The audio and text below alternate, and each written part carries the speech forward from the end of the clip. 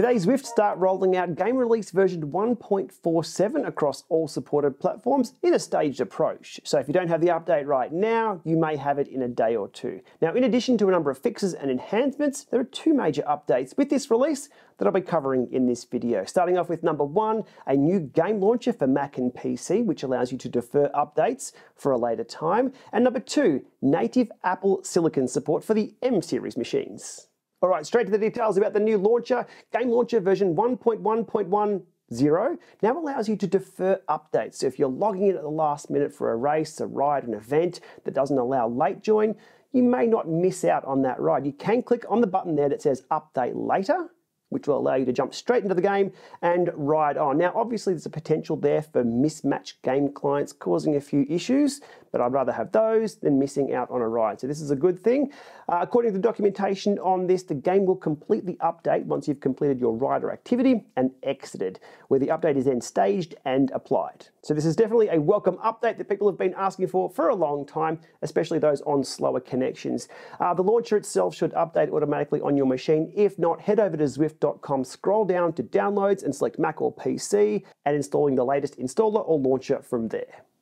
On to significant update number two for this game release, and that is native Apple Silicon support for M series processors, meaning the M1, M1 Max, M2. These will no longer have to run the Intel version of Zwift and an emulator which has its own overheads. Zwift will now run natively on the machines, which they list here gives faster frame rates, improved graphic performance, less overheating, and potentially longer battery life when not plugged into power. Now this update did sneak into game version 1.46, but did need to be manually started. With game version 1.47 and the updated launcher, the correct version of Zwift will run on the machine and you'll be good to go. Now the most notable visual difference here is rider shadows in-game. Let's have a look at the in-game experience or differences and some frame rate comparisons.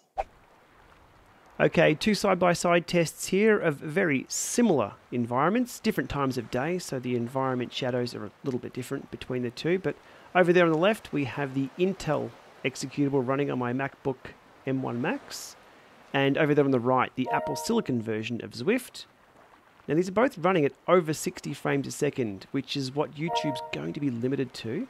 So there won't be any difference there with the smoothness that you're seeing. Graphic detail level, again, both the same. Zwift does select the high graphic profile at this point in time for the M1 Max. Where the key difference is, is in the rider shadows. Can't really see them too much from there. They are definitely notable though when you are on the bike. It's much easier to tell the time of day. Okay, here we are. And you can see there, over on the right, looks a little bit more natural. Being able to tell where the sun is located rather than just a slight darkening, I guess, under the riders every now and then. So I guess in this instance, full credit to Apple for having an emulator that runs so well for a non-native executable. Alright, as we come around the corner here, we'll jump into some side view of the rider. Alrighty, as things line up, and again, different times of the day, so the sun is coming from a different angle. But over there on the right, looking good with the shadows. And I'm not sure if it's just me, but it looks a little smoother on the right, less jerky.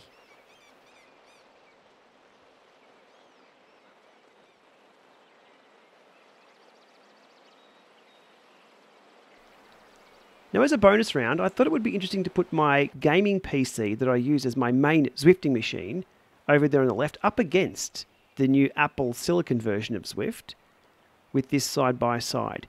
Now, over there on the left, Zwift is running in the Ultra profile, so there is a little bit more detail there than over there on the right. Zwift with the Apple Silicon defaulting to the high graphics profile. However, side by side, there's really not much in it. Even when this is blown up to the big screen, they were pretty close. Okay, so that's the visuals covered and some side-by-sides. Let's dig a little deeper into those frame rates and any improvements that can be seen there with this new update. Jumping over to Zwiftalizer.com for some further analysis of the frame rates and differences between the two versions of Zwift. Firstly, the Intel version of Zwift running on the Apple M1 Max.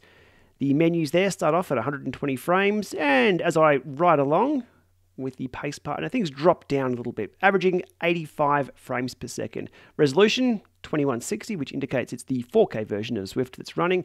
And do note the graphic profile is set to high. We can't change that. That's automatically selected in Zwift. Hopefully, we see that bumped up to Ultra because looking at the performance of the Apple Silicon version, things are a lot better. So again, high profile, automatically selected, resolution 4K, and the average frames per second 114. Only let down by this section through here where I was doing some screen recording. So aside from that there, this thing just sails along at about 120 frames per second, which is probably the limitation of the refresh rate on the M1 Max that I was using.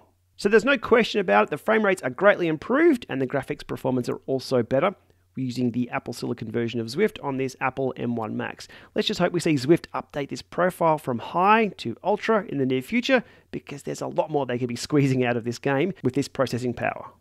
So there it is, the two significant updates in this game release. One to the game launcher with those deferred updates, and two, native Apple Silicon support for M-series processors. A welcome addition to those of us with those machines. Now there are a number of other miscellaneous updates and enhancements. I'll put a link in the video description below for your reference if you want to go check those out.